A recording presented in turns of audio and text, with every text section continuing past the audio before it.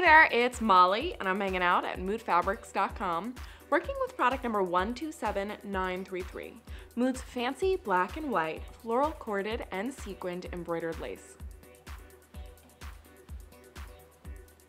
This product has a textured, slightly dry hand, although it's not unpleasant to touch.